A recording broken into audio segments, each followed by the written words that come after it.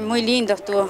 Eh, yo la primera vez que participo del duatlón y muy contenta porque Vanessa me, me invitó a compartir con ella.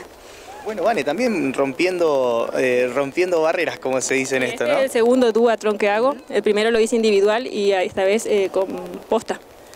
Eh, muy lindo el recorrido, medio larguito. Fueron tres vueltas, pero muy lindo. Muy lindo. Bueno, ¿y cómo se sintieron eh, en esto, en conocerse como dupla? Y la primera vez, La verdad que bien, porque digamos como compañera de, de carrera y la verdad que es muy lindo.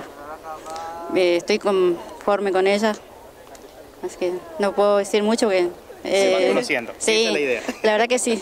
Bueno, Vane, ¿cómo te sentiste entonces para hacer un cierre de, de año de este 2015 y a quién le dedicas este triunfo? bueno, me sentí muy bien y le dedico a todos mis compañeros del atletismo, eh, a Karina que aceptó correr conmigo y bueno, y a todos mis compañeros que son re buena onda, siempre nos encontramos cuando hay carrera y es un lindo grupo.